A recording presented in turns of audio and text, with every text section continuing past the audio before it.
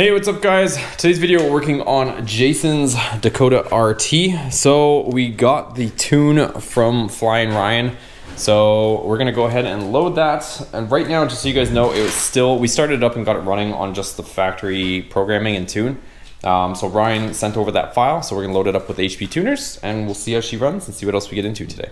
We got this guy back here. He's got no cast No on his foot for his little girl toes. And check out my shirt. Check out his shirt. Nadra Entertainment. yeah so he's got his own stuff too so he's finally got his own merch go check out his channel we got jason over here he's ready to get this thing running and we'll see how far we get today so uh, first things first we got uh, power on the vehicle.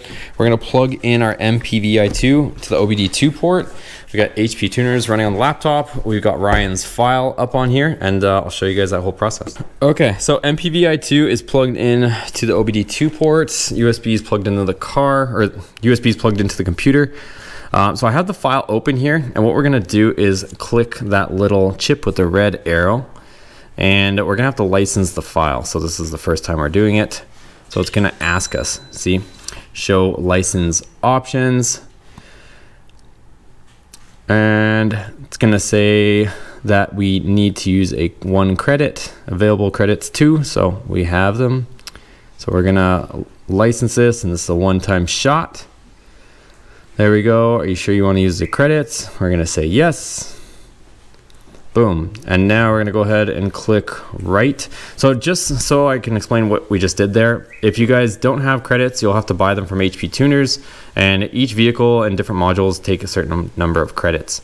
Um, so once it's licensed and the file's licensed, you can write to this vehicle any as many times as you want, but you do have to license it. Okay, so with the ignition turned on, and once we click write, it's gonna say to turn the ignition off. So we're gonna cycle the key, one, two, three, turn it back on, and we're gonna click OK. And here we go. So this process is gonna take about three to five minutes. So just let it do its thing and then uh, we'll come back once it's done. Okay, so it says completed. We're gonna hit close and we can go ahead and start the vehicle and see how she runs now. Okay, she's alive.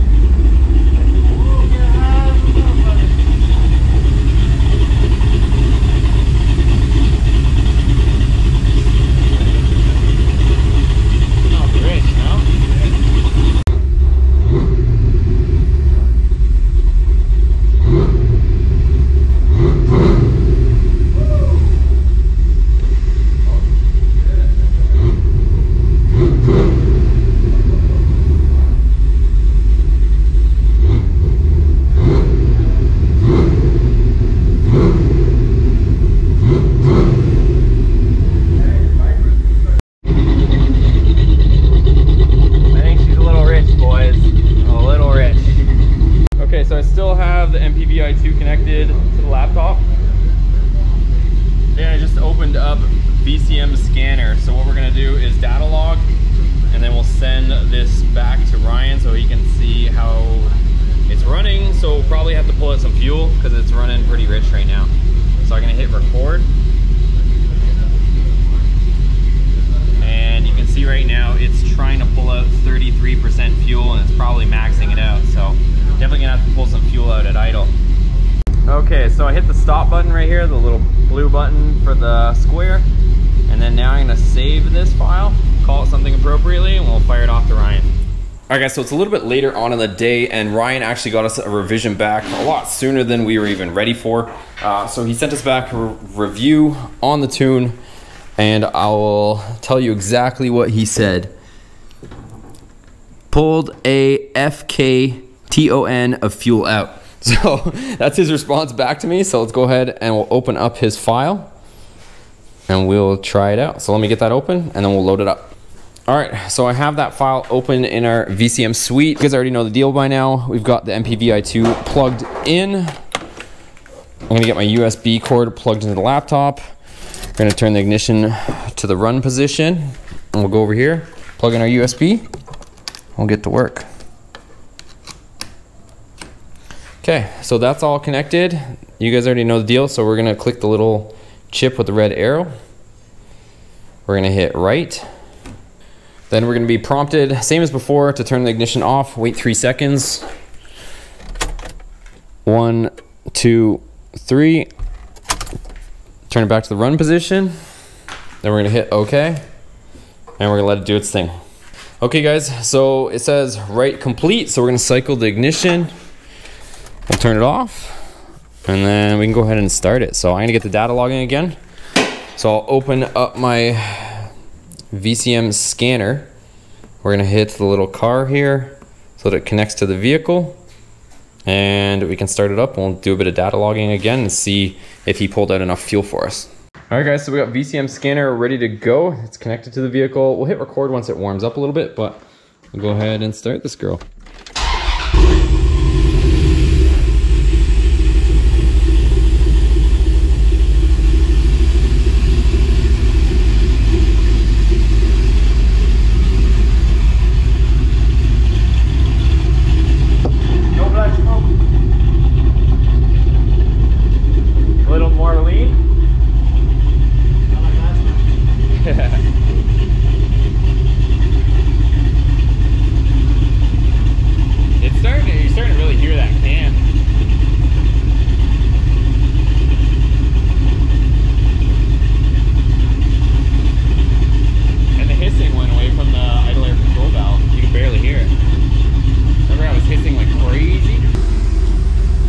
so just so you guys kind of know, so this is our idle here, and short-term fuel trim one and two, so that's each coming from each bank.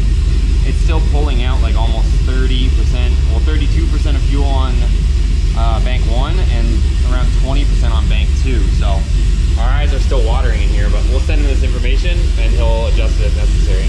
Yeah, we'll give it a couple revs, but we're gonna have to pull out more fuel looks like.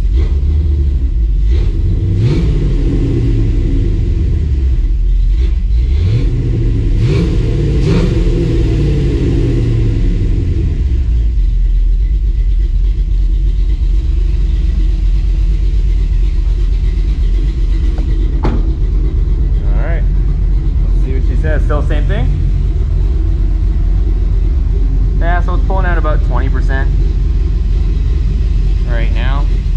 So maybe as, as the engine temps get up a little bit, it might pull out a little bit less, but she's still pretty rich. Okay guys, so it's actually another day later, so uh, can't expect Ryan to get us that many revisions all in one day, so but he did get it back to us very quickly, and I've got a third revision probably to take some more Fuel again. So it's kind of just the name of the game, the fact that we put a larger fuel pump in there. This thing is getting a ton of fuel, which isn't a bad thing, we just have to adjust accordingly. So uh, you guys already definitely know the deal at this point. I think it's the third time we've done this in this video. So we've got it plugged in, MPVI 2 we're gonna turn the ignition to the run position, but not started. Go over here, we've opened up the new tune file. We're gonna hit the red arrowed chip so that we can write to the vehicle. Click write, it's gonna tell us to turn off the ignition in just a second. And once that prompt comes up, we'll turn it off. So there we go. Turn vehicle ignition off and wait three seconds. One, two, three. Turn it back to the run position. We're gonna go over here, hit okay, wait three to five minutes, let it write, and then we'll see how she runs. All right, so it's done writing, and you can't just go ahead and start it. You have to cycle the ignition, just so you guys know. So we're gonna turn it off, and then we can actually start the vehicle.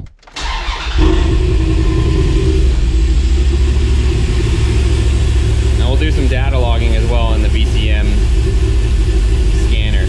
So here's a VCM scanner go ahead and connect to the vehicle, which is the little car. Let it do its thing, and then we can hit the red record button. Okay, so we're pulling a lot less fuel. Um, I guess bank one's only pulling about 15%. It's still gonna get up to temperature, but 15% on bank one, pretty much 0% on bank two. So we're a lot within its margins for it to be able to correct itself. So we're doing a lot better now.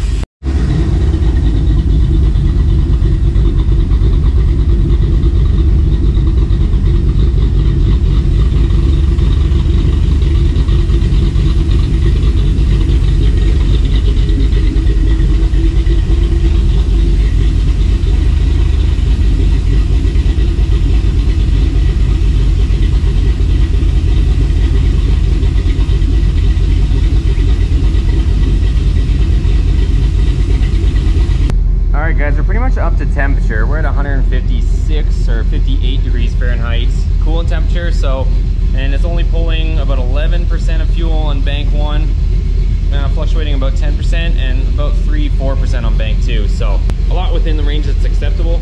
So go ahead and fire this back to Ryan and uh, we're pretty good at this point, at least for idle, uh, until we start getting uh, driving on this thing. All right guys, so that's gonna do it for today's video. So we're making some definite progress on this thing. We still got a bunch of other stuff to kind of conclude. As you guys can see, we have some different wheels and we actually raised the front end of the truck. So the Viper wheels have been removed and I think we're gonna try these on my Dakota RT. So that should be pretty cool. I'm kind of excited to see how those are gonna look on the blue truck. So uh, once we finish doing the rear suspension on his, uh, we're gonna put the 20s on the back once we raise it because right now those 20s won't even fit with his vehicle being all framed out. The tune is pretty dialed in and we also have a lot of content coming for you guys. As you guys can probably see, I did run out and buy a welder. So I got a good deal on this welder.